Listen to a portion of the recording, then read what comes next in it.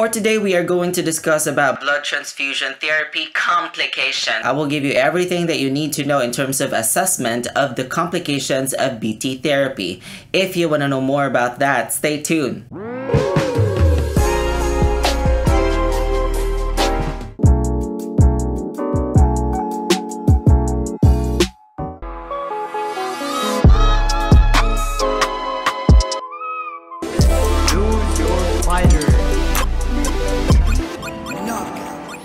Welcome back to my channel. If you're new here, my name is Nia Gavan. I'm a registered nurse and I do have a degree in medical surgical nursing.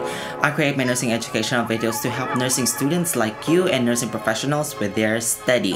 If that's something that you are interested in, consider subscribing. If you're already a subscriber though, thank you so much for your love and support. I see you. I upload my videos to you three times in a week, so don't miss that out. Subscribe now, hit the notification bell so that you will be the very first to watch my newest uploads. Also, don't forget to give this video a big thumbs up and share with your friends because that will really help me know that you like to see more content like this. Without further ado, you ready nurses? Let's begin! Hi everybody! Welcome back nga! Ako na-miss ko po ito. Pasensya na po kayo kung hindi ako masyado nakakapag-upload lately but I am back with another medical surgical nursing video. For today, we are going to discuss about the complications of your blood transfusion therapy. If you haven't watched the video, I created a nursing procedures and skills video where I discuss about um, blood transfusion therapy. Technically, part 2 nung video na. So, kung hindi mo pa napapanood, ililink ko siya dyan.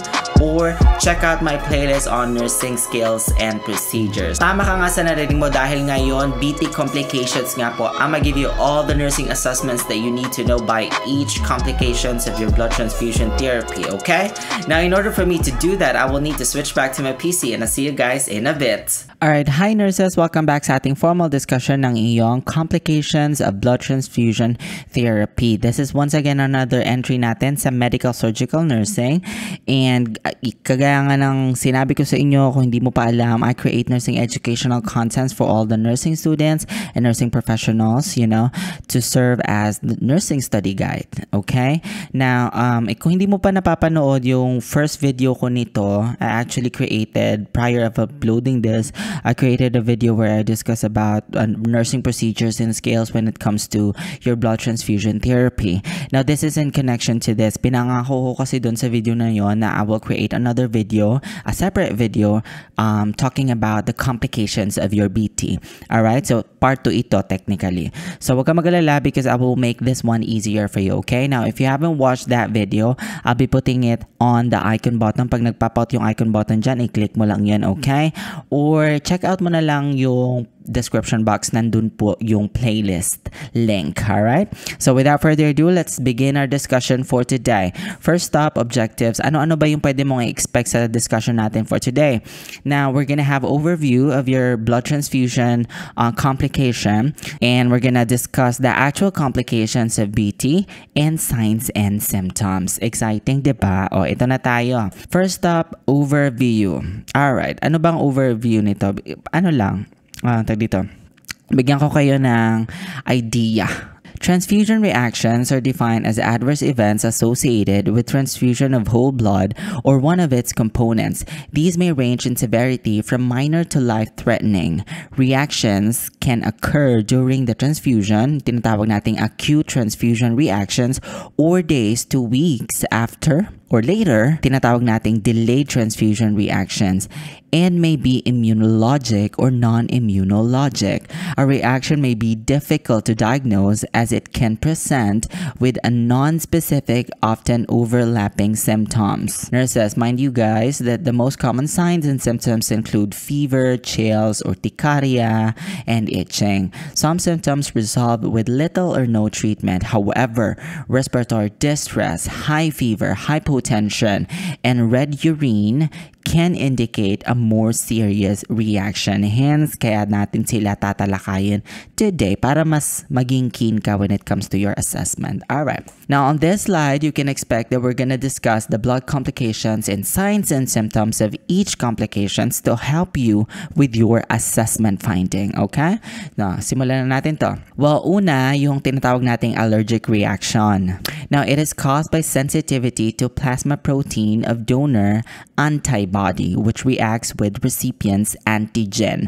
So yung antibody ng iyong donor ay nagre-react sa antigen ng iyong recipient. So hindi sila matching kaya nagkakaroon ng allergic reaction. Ano-ano yung mga dapat mong i-assess you guys? Well, you can expect flushing, rash or hives. You have your pruritus, laryngeal edema or pwede ring may difficulty of breathing. All right? So these are the signs or manifestations of your allergic reactions. Once you notice any of these signs to your patient, you can stop the BT, prompt your doctor, and look for further assessments para makita mo kung anong klaseng um, uh, BT uh, complications or reaction iyon. Kasi kung present lahat ito, you can rule out na it could be, uh, there's a big probability that it is an allergic reaction. All right.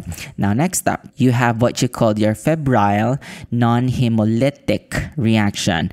This is caused by hypersensitivity to donor white cells, platelets, or plasma proteins. Yung kanina, allergic reaction, um, yung antigen at yung antibodies yung pinag-uusapan natin. This one, hypersensitivity ng donor white cells, platelets, or plasma proteins. This is the most symptomatic, meaning mas marami ka makikitang simptomas. Complications of blood transfusion. Ano-ano yung mga dapat mong i-assess, okay? Para ma-rule out mo na febrile non-hemolytic siya. Febrile, febrile, febrile. Mm, ano pa? Eh, di meron ka dyang sudden chills and fever. Meron ka din dyang flushing. Meron ka dyang headache at meron kang anxiety febrile, my fever, non-hemolytic reaction. Okay, malinaw yon. Proceed na tayo. Next is what you call your septic reaction. This is caused by the transfusion of blood or components contaminated with bacteria. Septic, sep sepsis right? Kaya meron tayong contamination and bacteria na pinag-uusapan. Ano-ano yung pwede mong makita sa pasyente mong nag um, nagkakaroon ng septic reaction. Meron diyang rapid onset of chills, meron ka diyang vomiting, meron ka diyang marked hypotension, at meron kang high fever. Okay? Mm-mm. Siyempre, may infection, may bacteria, contamination, sepsis, magmamanifest yung high fever at the rest of the signs and symptoms. Okay? Next, you have your what you call circulatory overload. Now, this is caused by administration of blood volume at a rate greater than the circulatory system can accommodate. Kaya importante yung regulation natin ng ating BT ha. Huwag masyado nagmamadali. Guys, dun sa very first video na tinalakay natin sa procedures and scales which we talk about um, blood transfusion therapy, tinalakay ko dun yung um, infusion rate. Balikan mo yon kung gusto mo ma-refresh, nilagay ko siya doon, panoorin mo, okay? Overload, overload, ibig sabihin more than what the, the recipient circulatory system can accommodate. Sobra, masyado mabilis yung transfusion mo.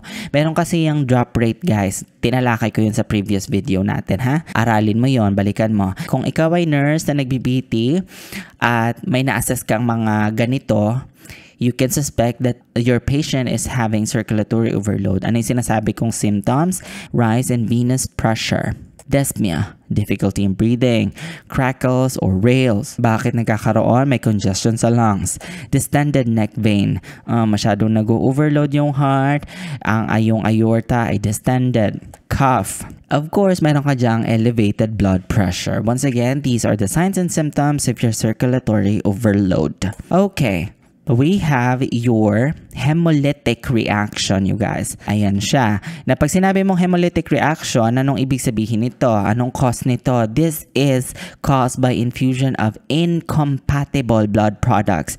You guys, I cannot emphasize the importance of having at least two registered nurses who's doing the cross-matching of blood, verifying the blood information before you even proceed with your actual BT um, therapy, blood transfusion therapy. Now, I also discussed that on the previous video I created. You want to make sure that you check that out. You don't want to miss the world for it, okay? All right, so ano-ano yung mga dapat mong i-assess you guys?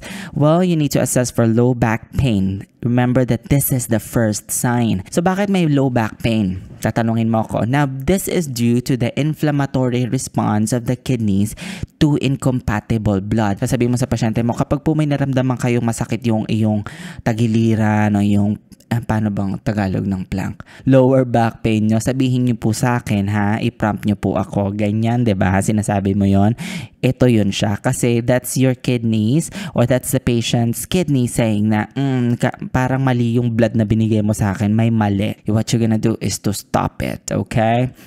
Next, you have your chills, feeling of fullness, tachycardic ang iyong pasyente, may flushing of skin ka rin makikita, may takip niya, meaning increased level of normal respiration, hypotensive din ang iyong pasyente, may posibleng bleeding, vascular collapse, at acute renal failure. Mm-hmm acute renal failure nga po. Ayaw mo naman dumating sa renal failure ang iyong pasyente, okay? So once again, thank you so much you guys for watching. Please like, share, and subscribe to my channel for more nursing educational videos.